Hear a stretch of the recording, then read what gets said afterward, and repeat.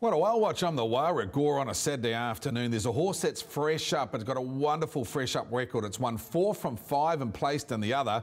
It trialled like a winner. I'll show the reason why next on Whale Watch.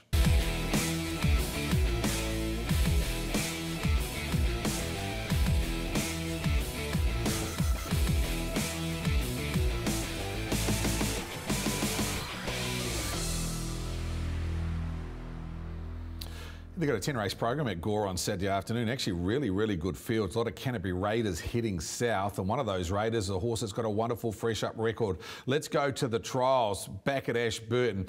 Horse that's highlighted here in the Jimmy Curtin colours three back on the fence, and its name, Lalavra's Gift. Now, she's got a fantastic record when she's had a 90 day or longer spell. Five starts fresh up, four wins, one placing. Have a look at this trial. Pretty serious horses in this race, including uh, in this trial, including Mark Cooler.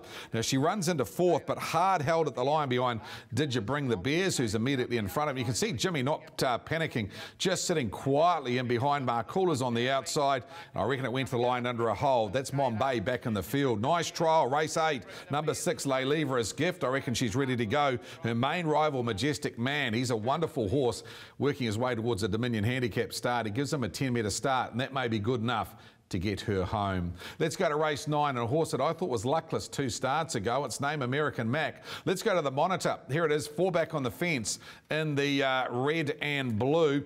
You can roll it on here. Now, this was a standing start. This horse lost 60 metres at the start, missed away terribly, tagged onto the back of the field. And you can see it running through the middle late, hitting the line nicely to run into fourth. Now, after the start, it went to Invercargill, sat the breeze the whole way, just died on its run late. It was placed seventh. It wasn't a bad effort. But I thought this was an eye-catching run. runner. Black Booker, race nine, number 14, American Mac. The key, it's on its home track. I reckon it'll be a very good chance at nice each way money. Going to the last and what I think is the best bit of the night, we a best bit of the day, we haven't seen him for a while, is Bridesdale Robin. Let's go to the workouts. This is at Wyndham. This is about 10 days ago. She's a pretty good mare and she's a uh, mare that loves Gore. Had two starts at the track, never been beaten, chasing three in a row. This is a nice trial, 56.1, 28.1. Craig Ferguson pulls the plugs here and she's off and gone. Beats I'm All About the Base, who is race rivals, number eight. Reckon it's a nice Quinella. Very keen in the last on Bridesdale Robin. She's a pretty good mare. Her last start was in the jewels behind L Mac. Let's have a look at the three highlighted for you. Saturday afternoon. Get involved in later in the program on races 8, 9 and 10. The Multi-Makers Lay Lever's Gift, race 8, number 6. The Each Way Bets race 9, number 14, American Mac. And the best of the days in the last, it's number 10, Bridesdale Robin.